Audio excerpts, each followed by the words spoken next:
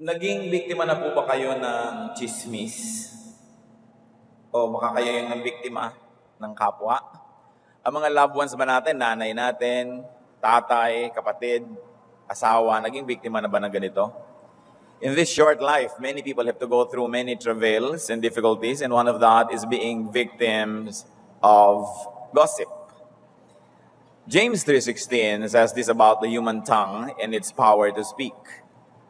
The tongue is also a fire, a world of evil among the parts of the body.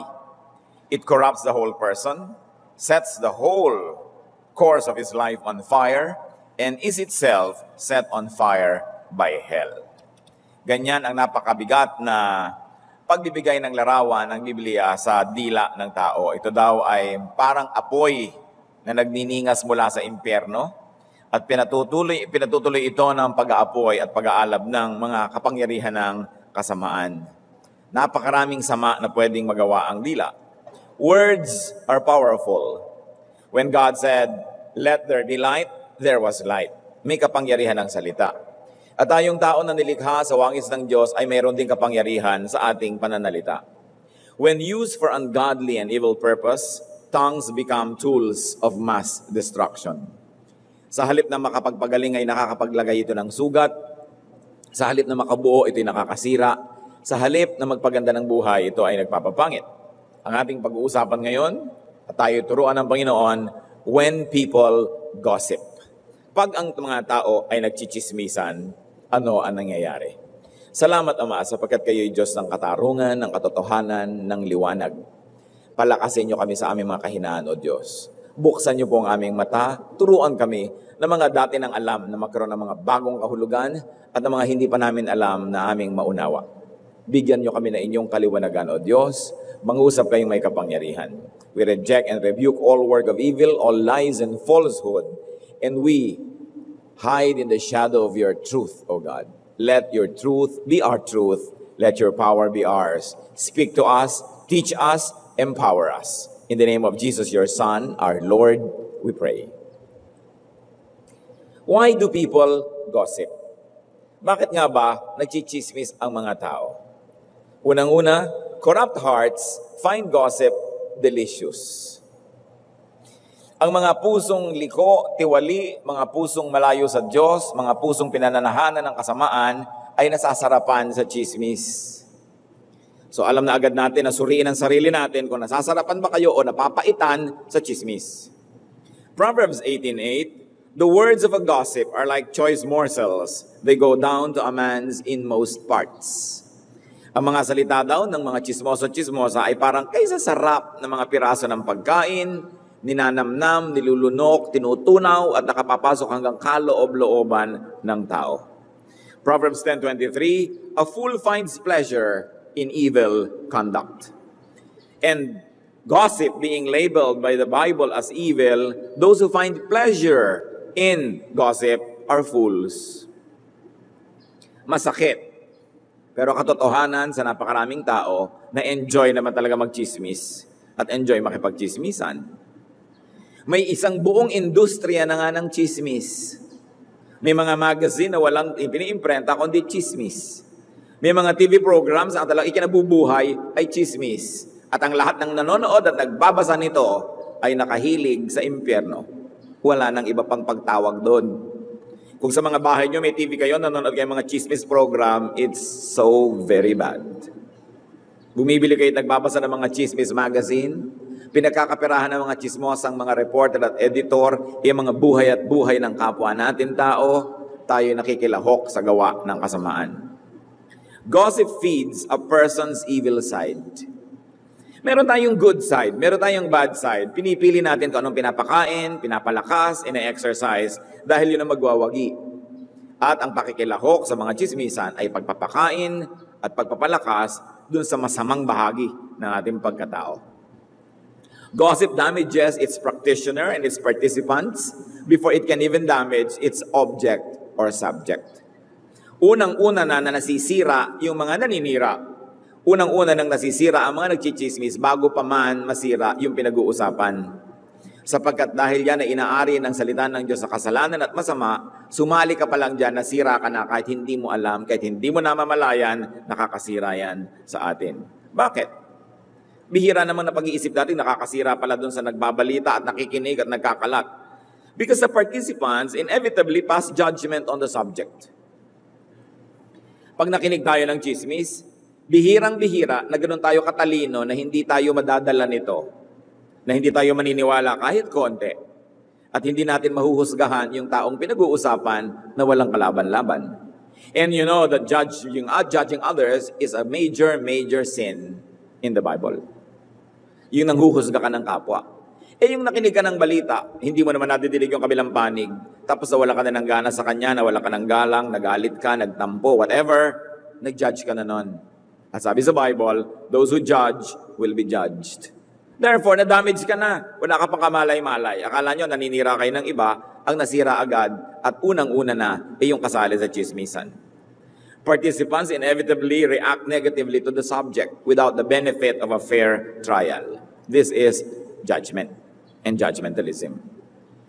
When people gossip, terrible things happen because gossip is a form of criticism. It's another reason why people gossip. Gossip is a form of putting others down, especially when there is envy. Every gossip is a cry for help. Ang mga nagchichismisan, kadalasan ay mga inggit. O kaya, galit. Bakit inggit? Kaya lagi nilang napagchichismisan, the rich, the powerful, the famous. Because the unrich, the unpowerful, and the unfamous are usually envious. Napakasarap pag-usapan. Ito palang hinahangaan nating artista ang ganda-ganda ay bulok ang kalooban. Ang saya ng mga nag-uusap dahil sila sa kagandahan nun eh. So parang nakakabawi sila. Maganda nga siya, bulok naman. Mabuti na akong hindi maganda pero busilak. Ganyan ang nagiging attitude ng nagchichismis. Mayaman nga yung mga yan pero broken home. Pag-uusapan nila yung mga brokenness ng mayayaman as if hindi broken homes yung mga poor. No? Mayaman nga sila pero malungkot sa bahay nila as if hindi nagsasaksakan yung mahihirap na mag-asawa sa kanilang mga dampa. Pero yan ang inggit ng mahihirap sa mayayaman, kaya pagchichismisan. Inggit ng mga hindi kilala doon sa mga sikat. At pagchichismisan mo, syempre, yung inaakala mong nakahihigit sa'yo. Sapagkat sa pagpapababa mo ng kanyang kalagayan, parang natataas ka na rin. Kung nais nating mataas, eh mag-achieve tayo.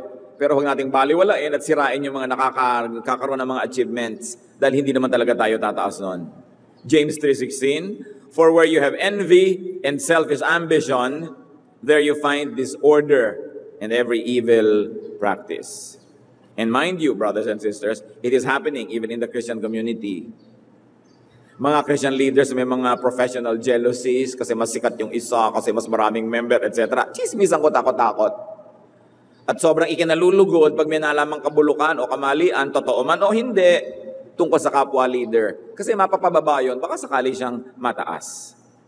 Proverbs 24:28, Do not testify against your neighbor without cause or use your lips to deceive.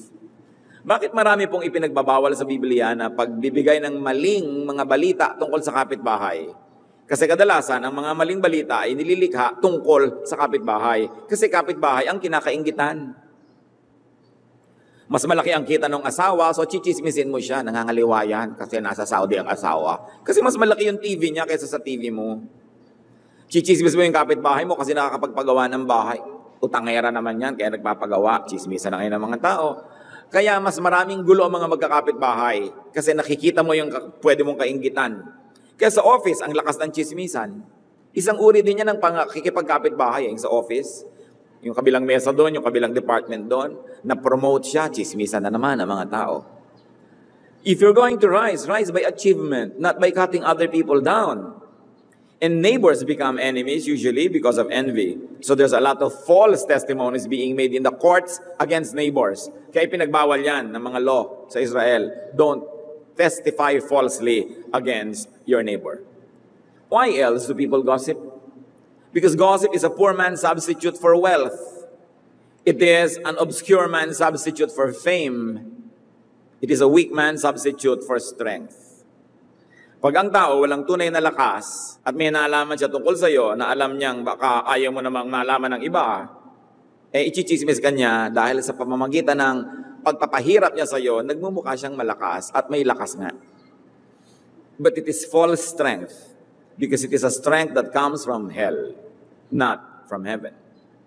Kaya yung mga mahihirap, just to feel good about themselves, chichismisin nila yung mayayaman, ng mga hindi sikat, chichismisin nila yung mga sikat, at kung bakit nagkakaroon ng evil pleasure in making people fall or seeing them go down to the pits just because one could not rise on his own merit. Proverbs 15:21, folly delights a man who lacks judgment.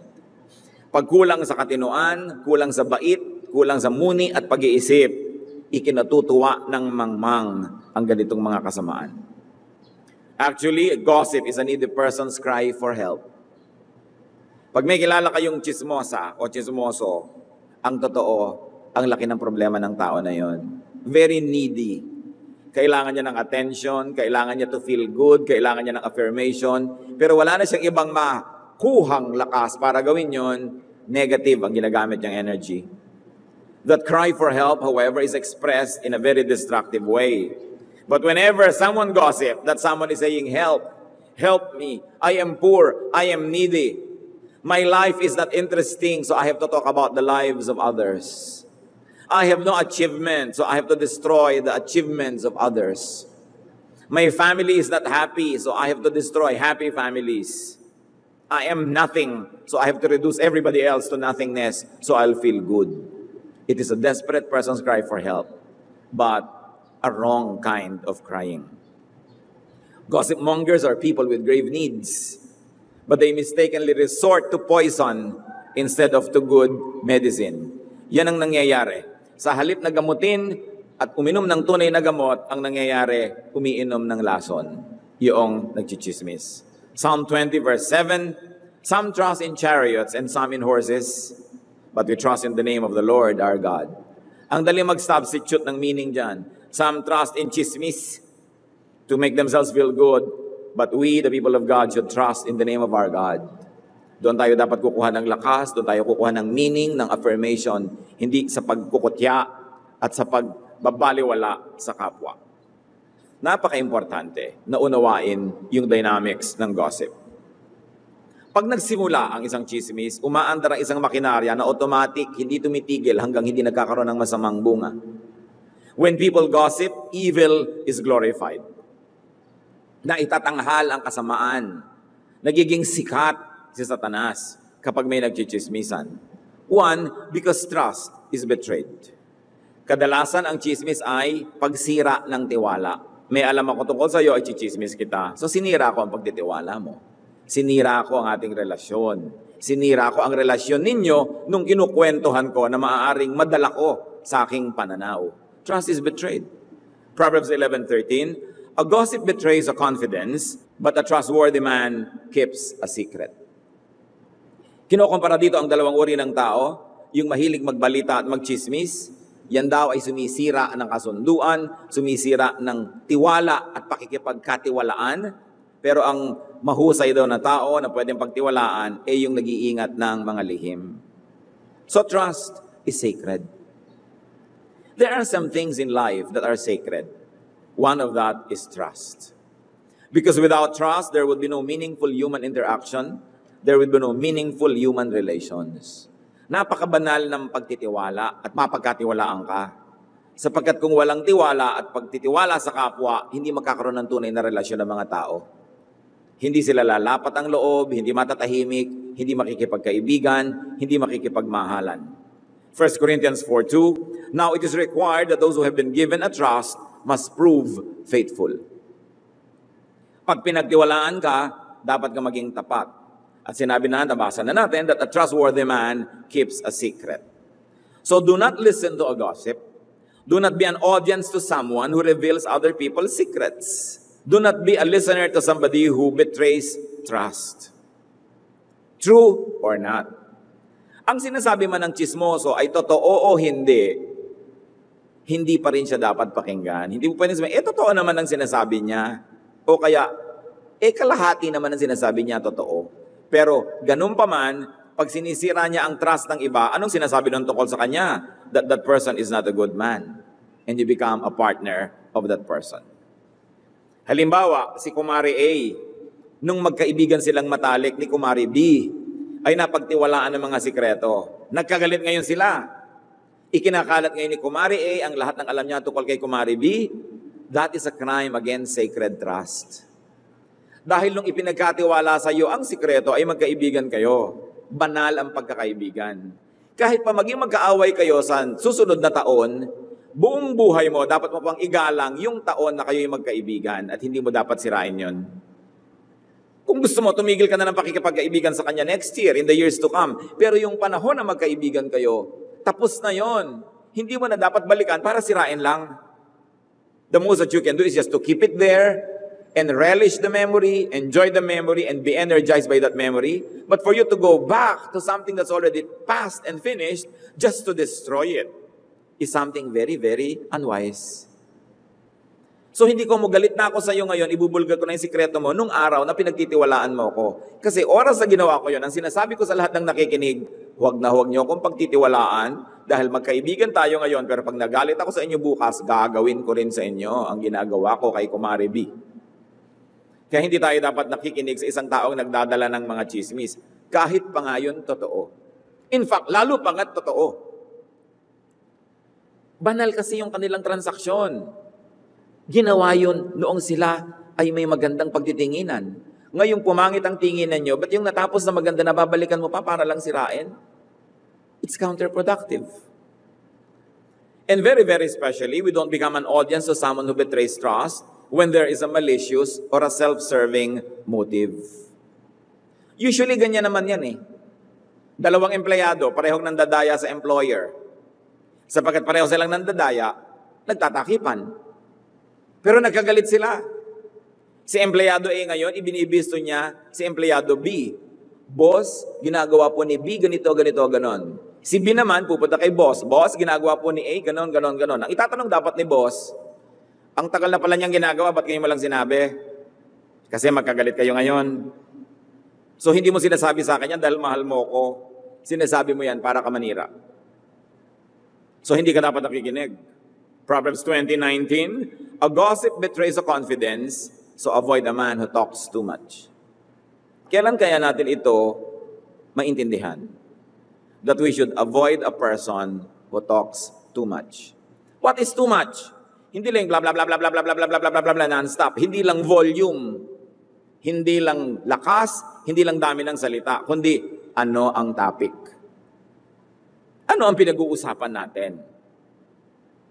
Kahit na konti lang ang salita niya, a few words, pero mga bagay na hindi dapat pinag-uusapan, karangalan ng iba, lihim ng isang mag-asawa, lihim ng isang magulang tungkol sa kanyang anak na nire-rehab, tapos ichichismis mo, inililihim na nga nila, lihim ng isang nagbubuntis na ayaw niyang ibunyag, naunahan mo pa siya, no?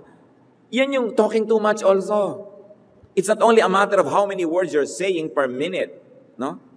Kaya yung mga chismis-chismis per minute, mas maraming nakikinig, ang dami-daming nasasabi per minute. Biruin mo yun, nag-score ka sa impyerno per minute.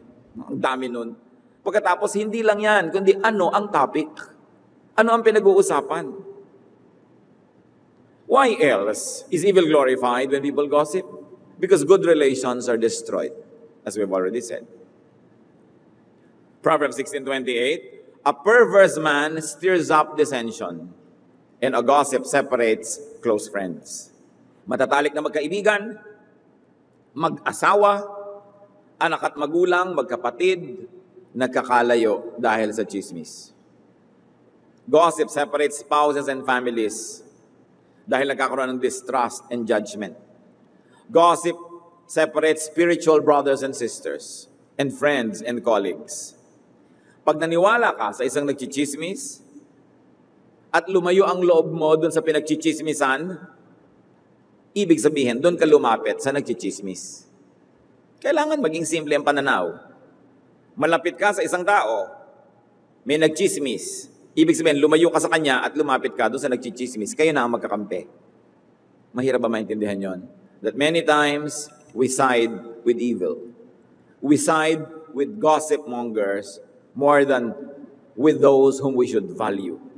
When people gossip, evil is promoted. Why is evil promoted? Because the content of gossip promotes evil. Ang pinag-uusapan. And the content of gossip is usually falsified, magnified, exaggerated, dramatized, controversialized. Sabi ni Balagtas sa Florante at Laura, bihirang balita'y magtapat, magkatotoo may marami ang dagdag. Alright, yung dinadala sa inyong balita ay may katotohanan, may butil ng katotohanan, pero makakataya kayo na ang daming dagdag nun. At kung tatlong bibig na ang pinaglipatan ng kwento, tatlong editors na ang nagdagdag at nagbawas sa kwento mo. At pag ikinuwento mo pa uli sa iba, sigurado magdadagdag ka pa ng opinion mo doon. Kaya yung kanina lamang ay pinitik, pagdating doon sa kabila, sinaksak na. Namatay na yung tao, eh hindi naman dahil pinitik lang. Why? Because people shape the news that they hear and talk about to suit a purpose. Usually to hurt others, to destroy, and sometimes innocently to oversimplify. Ang isang complex na bagay, i-oversimplify mo, i-interpret mo, ikukwento mo sa iba na wala na yung ganda ng complexity niya na oversimplify na lang. Kaya napakaraming panunuligsa ang Biblia sa mga mahilig magchismis. 1 Timothy 5.13, They get into the habit of being idle and going about from house to house. And not only do they become idlers, but also gossips and busybodies, saying things they ought not to. Sabi yan ang nangyayari sa mga taong hindi pinupuno ng kabanalan ng kanilang buhay. Marami silang oras at panahon para magchismisan at nagsasabi ng mga bagay na hindi nila dapat pinagsasasabi. Remember, this is true or not true. Hindi ko matotoo ay pwede lang sabihin at pag-usapan. Maraming mga katotohanan ay banal din. Hindi dapat hinihipo, hindi dapat ginagalaw. E paano pa kung hindi totoo, di lalo na. Hindi mo pwedeng sabihin, eh totoo naman yung pinag-uusapan namin. Pero kung ba totoo, dapat yun ang pag-usapan. May karapatan na ba kayo na pag-usapan yan? Bihirang-bihirang news, eh truthful. Kaya kung minsan, hindi ito nararanasan eh ng mga maraming karaniwang tao. Yung sila'y nalalagay sa news, sa TV, sa mga balita, sa mga dyaryo, kadalasan is very unfair. Kasi mali yung perception ng reporter, tapos inedit pa yan sa newsroom kung ano na nangyari. So, iko-controversialize para panoorin ng tao at basahin. You know, a person is reduced to ashes, to pieces, dahil sa news. Kaawaan ninyo at kahabagan yung mga buhay ay naibabalita kasi kadalasan, ang balita ay hindi matapat. Tatandaan ninyo na ang dyaryo ay negosyo, kailangan itinda. Ang mga news program sa radyo at sa TV ay kailangan magka-sponsor, kailangan mag-rate. So kailangan i-controversialize, i-dramatize para panoorin ng tao. Biktima yung mga nagiging object of news. Kawawa naman. So, the content of gossip promotes evil. And there's also another aspect of it, the intent, the motive of gossip promotes evil. Kaya nakakalungkot yung mga programa sa TV. Magkaroon lang sila ng isang programa sa isang araw, ng isang linggo. Mga buhay na ang sinira nila, buong-buong buhay ng tao. Yung mga TV program na bubulat-latin yung lihim ng isang tao, susundan siya ng mga hidden camera, titingnan ng kalihim-lihiman niyang buhay, tapos ipapalabas sa national TV para lang mag-rate. Okay, kumita sila ng isang araw sa loob ng isang linggo pero ilang buhay ang panghabang panahong nasira, na damage. Kaya hindi dapat pinapanood ang ganyan mga programa. Yung mga hahalukayin ng buhay ng mga prostitute, hahalukayin ng buhay ng mga ganito, mga ganyan. Gusto nyo ba mangyari sa inyo yan? Sa anak ninyo, sa mahal nyo sa buhay? Kasi kung hindi nyo gustong mapag-usapan kayo ng ganon, huwag kayong makilahok sa ganyang industriya. Kasi wala namang magandang naidudulot. Sana para papag-ingatin tayo sa panganib, iligtas tayo sa mga panganib. Kadalasan, nagbebenta lang sila ng mga madugo, marumi, mga karumaldumal kasi yun ang gusto ng tao. It's only a marketing thing. It's not love for you or for the country. It's to rate, to sell. Kaya hindi dapat tinotolerate, lalo ng mga mananampalataya, ang ganyang mga programa. Okay, gusto nating ituwid ang mga kamalian, katiwalaan ng lipunan. Gusto nating ituwid, linisin ang mga kabulukan ng ating bayan, ng ating lahi. Pero hindi sa ganong paraan, hindi sa pachismis na paraan, hindi sa controversial na paraan, dahil hindi naman marerepair yung damage na ibigay mo doon sa tao. People are people. People are human, and human beings must be treated with dignity. Kahit paabutan mo silang nakahandusay sa lupa, nakalubog sa putik, dapat pa rin igalang yan because people are made in God's image. Alang-alang, doon sa wangis ng Diyos na ibinigay niya sa bawat nilalang, dapat igalang mo ang tao. Hindi dapat pagpiestahan.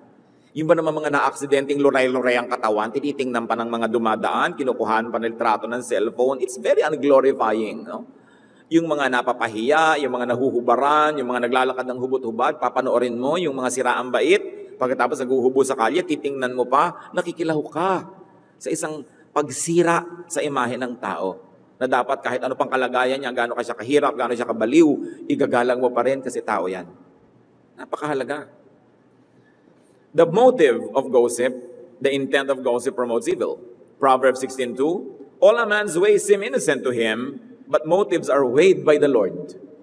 Kala mo, innocent eh. Yung nagchichismis, eh bakit totoo naman? Parang wala siya kasalanan. Eh sinasabi ko lang naman to para malaman ninyo, para makapag-ingat kayo. Kasi bihirang nagchichismis, ang ala, tinatanggap niya na masama yung ginagawa niya. Pero sabi niya, tinatanggap niyo at hindi. Ang titimbangin ng Panginoong Diyos, yung mga layo ninyo sa puso. Bakit niya pinamamalita yan? May malasakit ba kayo? Kung hindi nyo mahal yung pinag-uusapan, wala kayong malasakit, wala kayong karapatang pag-usapan yan. But people usually justify their crimes and their evil deeds.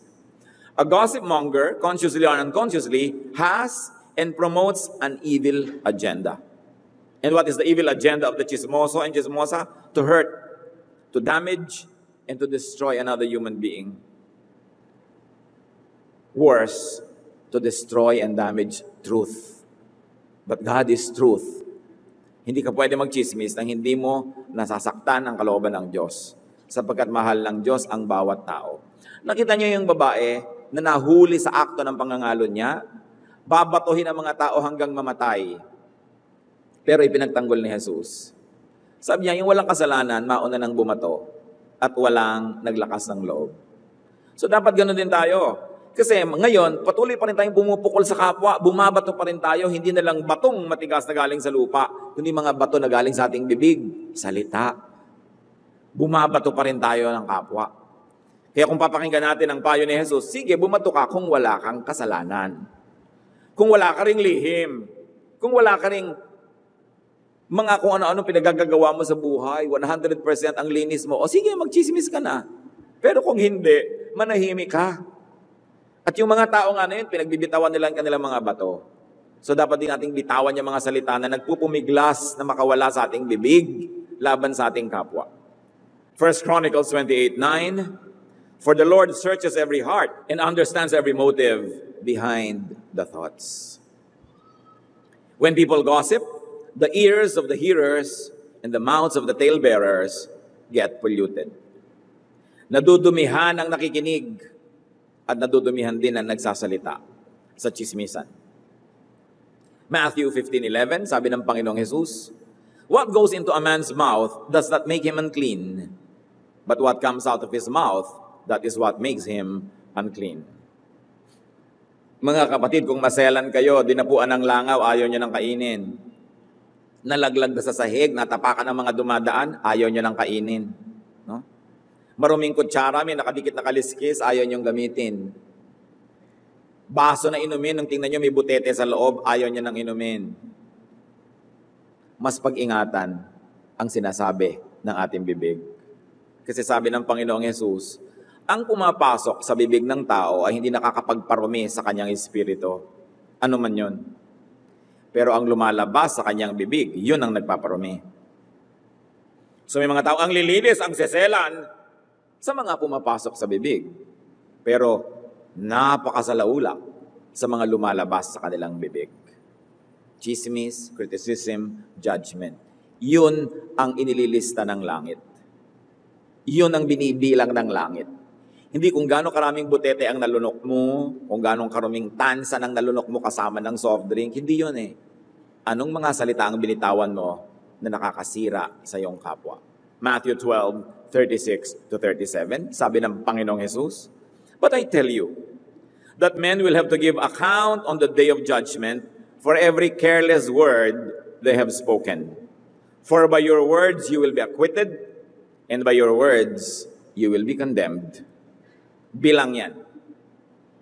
Baka marami sa atin nakakota na. So tama na. Huwag nang dagdagan pa sa maikling buhay na ito. At kahit totoo ang pinag-uusapan, kung hindi naman ito kaibig-ibig pag-usapan, hindi nakakapagpaangat ng kapwa, that which is not glorifying to God, that which is not edifying to our fellow men, nakakapagparumi pa rin yun sa tainga at bibig ng mga kalahok. When people gossip, people, reputation, and feelings are damaged. Psalm 52 verse 2, Your tongue plots destruction. It is like a sharpened razor you who practice deceit. Now, deceit can be content, hindi totoo. Pero deceit can also be in intent, kahit totoo. Pero ang dahilan ng pagsasabi nito ay para manira, hindi para makabuo, para magsabog ng intriga at gulo, deceit pa rin yun. The deceit is not in the content, but in the intent, in the intention, in the motive. Kaya kaya sabi mong, totoo ang sinasabi ko tungkol kay kumare. Oo nga, totoo. So walang deception doon sa words.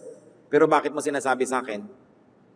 Para mainis ako, para magalit ako. Eh di may deception kang ginagawa. Minamanipulate mo ang feelings ko para magalit ako sa kanya. Dahil galit ka, no? Dahil inggit ka sa kanya. Gusto mo ako makakampi. So you manipulate my feelings. You tell me something true, something correct, but your intention is not pure.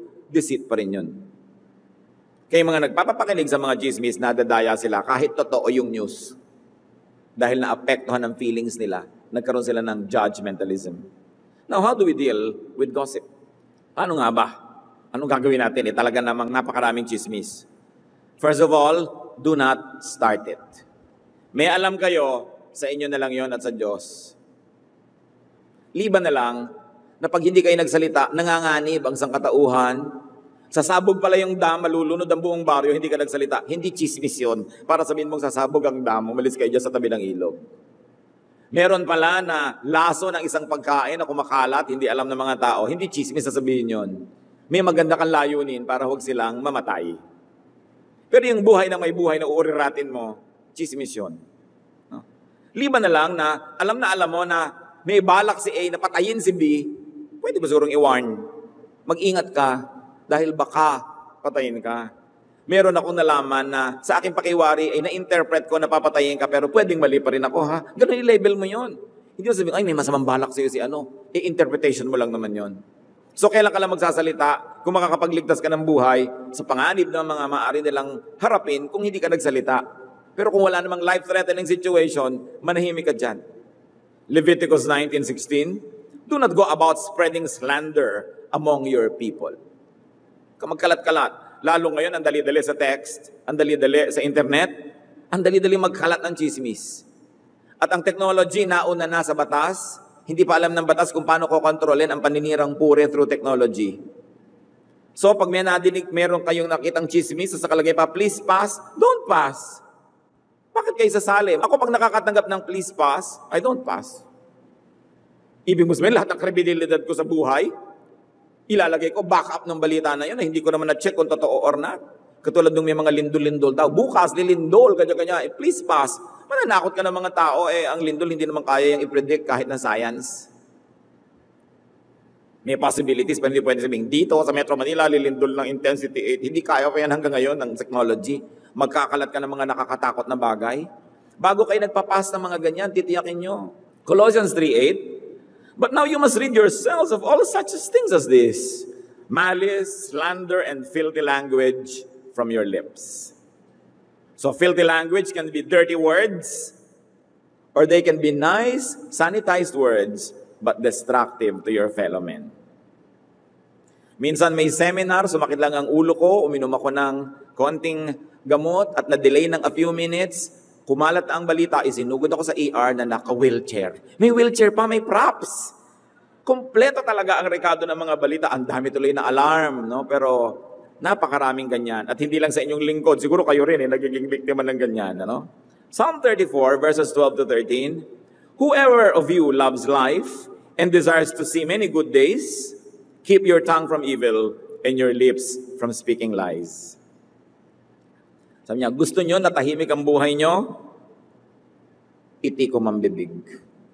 Huwag sumali sa mga sigalot, sa mga gulo at chismisan. How else do we deal with gossip? Do not listen to it. Psalm 120 verse 2, Save me, O Lord, from lying lips and from deceitful tongues. Gano'ng karami sa atin ang nagdadasal ng ganyan? Lord, iligtas niyo po ako sa magnanakaw, sa mandurukot, sa mamamatay tao. Iligtas mo po ako sa pagputok ng bulkan, sa pagbaha, sa paglindol. Pero gaano karami nagdadasal ng mas practical every day dahil mas maraming chances mangyari ito. Iligtas mo po ako sa mga sinungaling. Iligtas mo po ako sa mga chismoso at chismosa. Iligtas mo ako sa mga dila na bubulong-bulong sa akin, sa mga text na makakarating, sa internet na may mga messages na hindi ko dapat pakinggan. Say no to this. Refuse and avoid listening to such things. How else do we deal with gossip? Kill it. Ito ang isang uri ng pagpatay na mabuti. Proverbs 26:20, without wood a fire goes out. Without gossip a quarrel dies down. So patayin ang chismis. Patayin ang apoy ng chismis. Paano mo pinapatay ang apoy? Huwag mo nang gatungan. An open fire, huwag mo nang lagyan ng bagong kahoy para magningas muli. Yung by gas, patayin mo yung source ng gas, isara mo. Isara ang pinagmumulan ng apoy. At kadalasan yan, just keep quiet at mamamatay ang chismis.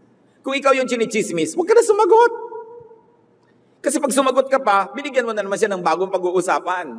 Hahanap na naman siya ng buta sa mga dati mong sinabi, may sasabihin na naman siya. Sasagot ka na naman, pabalik-balik, parang tennis. May nag-serve sa'yo ng bola, huwag mong paluin pabalik. Siyempre, magsiserve uli yan. Huwag mo uling paluin pabalik. Pag tatlong palo na, hindi ka pa kumibo, tapos na ang laban. Wala na. Pero kikibo ka pa. Yung, huy, sabi ng kumari mo, kuripot ka daw. Sabihin mo, siya naman pangit. No? Huy, pangit ka daw. At sabihin mo, siya kaliwete. Ang sabihin mo, hahaba ng hahaba. Kasi yung nagdadala ng balita na yon, yon ang ambassador ni Satanas. Yung nasa gitna. Sinasabi nyo, pag nagdala sa inyo ng isang balita, ang kukunin sa inyo dalawa, pabalik sa kabila. Ganon yon. Yon ang mga kampo ni Satanas. Yung, hoy, sabi ni ano, ganito ka daw, ganyan, ganyan, ganyan. Dahil yan ang nagpapalala. Tapos pag sinabi yung, hoy, pangit ka daw, tapos tahimik ka, papayag ka nun? Sinasabihan ka ng ganon? Gagatog-gatogan ka pa para may makuha na naman siya, dadali na naman niya sa kabila. Kaya nga naging industriya yan eh. So, when you hear gossip, do not pass it on. Ilibing niyo sa lupa agad. Do not pass it forward. Do not spread it. No? Alam niyo, ang internet can be a blessing, but it can also be hell's expressway. Yung technology can be hell's expressway. Kasi kahit kasinungalingan, kahit paninirang puri, ang bilis ding kumalat. Iniingatan natin yan, hindi ka nagbababasa niyan at hindi ka nagpo-forward ng ganyang mga bagay. Exodus 23 verse 1, Do not spread false reports. Do not help a wicked man by being a malicious witness. Kung may galit siya sa isang kapwa niya, siya na lang ang magalit. Huwag na kayong sumali. At huwag niyo nang gatungan ng galit niya at huwag nang galitin ng iba pa, mahahawa pa sa kanya. Someone once said, A cruel story runs on wheels, and every hand oils the wheels as they run. Kumakalat lang ang balita pag may nagkakalat. Huwag tayong sumama sa ganun. But you know the sad thing about many of us is we privilege gossip too much. We privilege evil. Binibigyan natin ng pulpito para magsalita, binibigyan natin ng mic, binibigyan natin ng entablado para mag-perform. Kaya kuminsan may magsasabi, Hoy, totoo ba yung kumakalat na chismis tungkol sa'yo?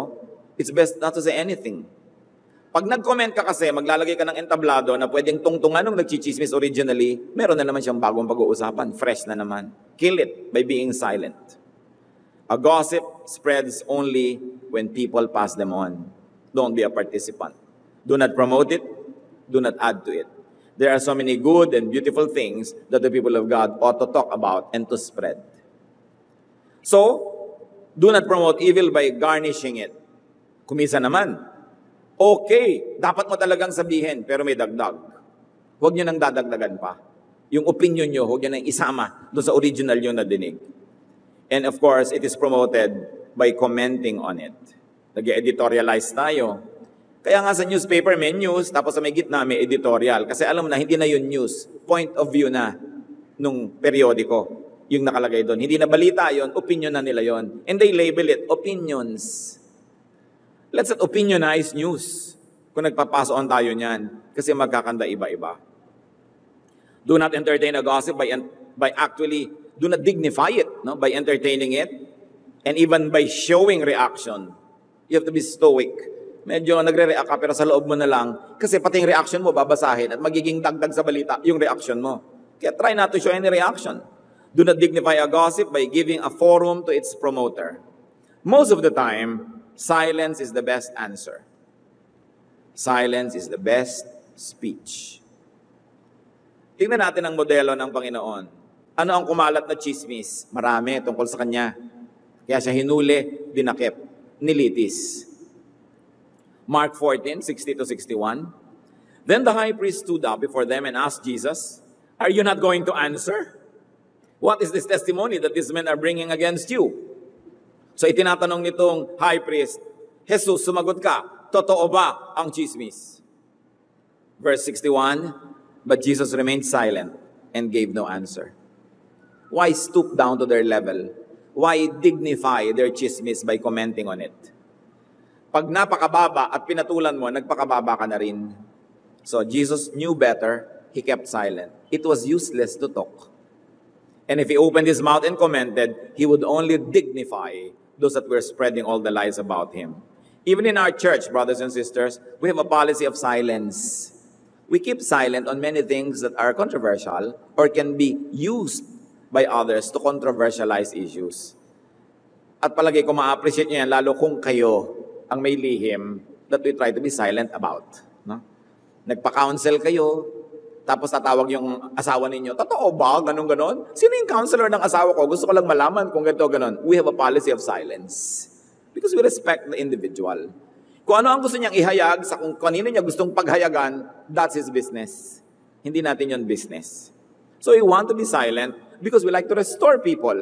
The moment na pag-usapan na yan, ang hirap nang ma-restore eh. So ang gusto natin, nabubuo muli yung nasira, yung na-damage, gumanda muli, yung nadapa, makabangon, at hindi yun mangyayari pag pinag-uusapan. Dapat tahimik, at ang nakakaalam, ipanalangin. Sapagkat ang lahat ng tao ay may buntot na hila, lahat ng tao naman may bulok, may baho, lahat ng pamilya may skeleton in the closet, lahat. Kaya nga may church para gamutin, para magtulungan, hindi para pag-usapan at i-judge. It's very important that you feel secure in the church, that you will not become an object of chismisan. Especially when you disclose very sensitive things, when you seek counseling and tell many sensitive realities about you, you can be rest assured that we will be silent. It's a policy for everybody. Kaya dapat nating igagalang yon. May mga bagay na banal, hindi dapat tinitingnan. Kaya nga ang Diyos nung araw, pagka dumadating siya, ang mga tao yumuyuko, nagtatakip ng mukha, ayaw nilang tingnan kasi banal. Maraming bagay na banal. Kahit pa yung bagay na yun, maituturing nating masama, pagkakamali, pagkakadapa ng kapwa, hindi pa rin dapat tingnan tulad ng pagkakahubo ng isang tao na hindi dapat tingnan kung hindi naman nagpapatingin sa'yo yung tao. Napakahalaga nun. Proverbs 10.19, When words are many, sin is not absent. But he who holds his tongue is wise. Tatandaan natin, yung nagsasawalang kibo at tumatahimik, yun ang mas matalino. Hindi na dapat na ihayag natin kung anong laman ng utak natin through our words. So do not give space and do not give victory to the promoters of gossip. Exodus 23 7. Have nothing to do with a false charge, and do not put an innocent or honest person to death, for I will not acquit the guilty. And remember, a person is innocent until proven guilty by a reliable court. Sabi ni Frank Clark, gossip need not be false to be evil. There's a lot of truth that shouldn't be passed around. Agree kayo dyan. Kung meron kayong anak na very, very delicate ang kanyang health situation, you don't want that to go around, kahit totoo.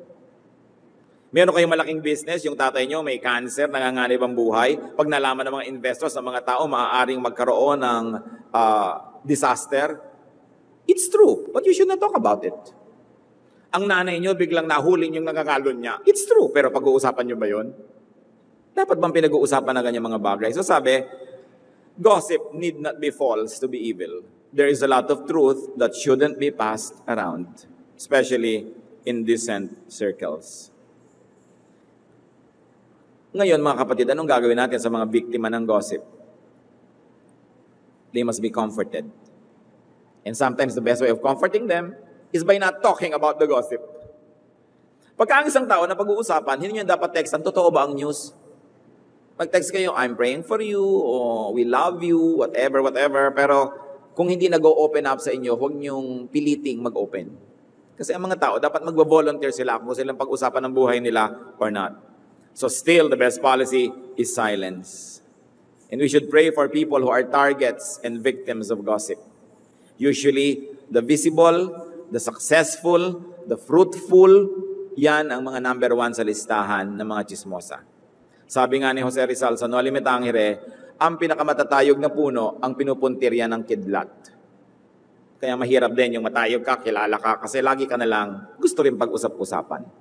We have a responsibility to our leaders. We have a responsibility to our parents who are visible in our family. We have a responsibility to our government leaders. We have a responsibility to our church leaders, to our company leaders, to protect them from needless gossip.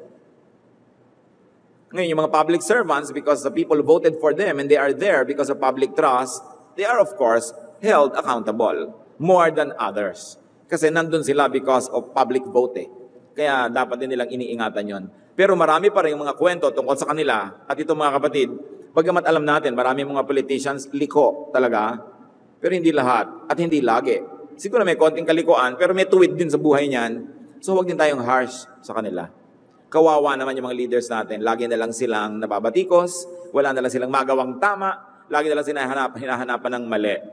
Kung ikaw naman yung naging leader doon, siguradong kung ano-anong kamalian din ang magagawa mo. Hindi dahil masamang tao ka, kundi dahil hindi ka perfect. At hindi mo rin naman alam kung anong gagawin. We are all fellow learners. We are all fellow travelers. So we should be kind to one another even when our fellow men falls. Or when they fall. Kasi panapanahon lang. Ngayon siya ang natumba, baka bukas ikaw. The same kindness that you want to receive, the same kindness that you want your loved ones to receive, you must be willing to give to others. Sa so Psalm 5, 8 to 10, meron pong panalangin ng isang biktima ng chismis at mga balibalita. Lead me, O Lord, in your righteousness because of my enemies. Make straight your way before me. Not a word from their mouth can be trusted. Their heart is filled with destruction. Their throat is an open grave. With their tongue, they speak deceit. Declare them guilty, O God. Let their intrigues be their downfall. Banish them from their many sins, for they have rebelled against you. So, indulging in chismis is a form of rebellion against God. Gossip is cruel. Gossip is not of God. Gossip is never helpful. Do not be a participant. What if you were the victim? What if it was your loved one? Mga kapatid, unahin natin sa ating tahanan, lalo kung tayo nagpapalaki pa ng mga bata, anak, apo, pamangkin, do not let your home be a nest of gossip. Huwag nyo itolerate na over the dinner table, chismis ang pinag-uusapan. Pag nakikita ang pamilya, chismis. Pag dumadating si Auntie Kikay, kakausapin si Mami, chismis. Huwag ninyo itong gawing paraan ng pamumuhay dahil pinapakita natin sa mga bata that chismis is a good way of life. We must always be ready to remind each other, oh, chismis na yata yan, let's stop it. Kahit sino ka, ikaw ang tatay o nanay, ikaw ang anak o magulang, kapatid ka, whatever. Kung sino ang unang nakaalala ng katotohanan, magpaalala ng, oops, chismis na yata ito, we become agents of hell. Hindi natin dapat itong gawin na kultura sa ating tahanan, sa ating opisina. Ang laging pinag-uusapan yung mga supervisor, yung mga manager. Lagi na lang, kadalasan, inggit din yan, may na-promote, pagchichismisan. Hindi natin dapat ginagawa yan na kahit na mga Kristiyano, prayer meeting, tapos chismisan. No? Nalaman doon ay pinag-pray, na-text na agad, at kumalat na agad. It is a, an evil way of life. Pero ito isa sa mga kasamaan na hindi natin napapansin. Pansin na pansin natin nang i-snatch ng cellphone, ano? Para ang sama ng i-snatch ng cellphone. Pero mag-chismis ka tungkol sa tao, in-snatch mo ang karangalan niya. Pinagtatapakan mo pa, dinurog, pinakuluan, tinadtad, inihagis mo pa sa asfalto, at inilibing mo pa sa pusod ng dagat. Mas masahol, mas masama. Sapagkat yung nangaagaw ng cellphone, cellphone lang ang naagaw. Pero yun ang chismis, ng agaw ng dangal. Maaring ng agaw din ang kinabukasan. We must label it as evil because it is. Heavenly Father, we come to you with humble hearts, asking you to examine ourselves. Kami po ba ay nagiging uh, kasapakat ng kasamaan, participants in this evil enterprise. Tingnan mo kami, Panginoon, kung gaano kami ka-guilty when it comes to gossiping. At nais naming ihayag sa iyo ang aming mga kasalanan at pagsisihan ito. At ganoon din naman, Panginoon, nais naming idalangin ang mga mahal namin sa buhay, mga kilala namin na nagiging object ng chismis. Napakahirap na maranasan ay kay binabato, sinasaktan, gusto kang lapain, Turuan mo kami, Panginoon, na mas maging sensitive, mas maging supportive, mas maging mapagmahal sa isa't isa to protect each other from all the attacks of hell. Magbulay-bulay tayo mga kapatid at kung meron tayong mga dapat na ayusin, ipagtapat sa Panginoon, pasya na dapat gawin, tigilan ng ganito mga gawain, sa piling ng Panginoon, ating lahat na pag-isip-isipan at tayo makipag-isa sa Espiritu ng Diyos sa sandali ng katahimikan.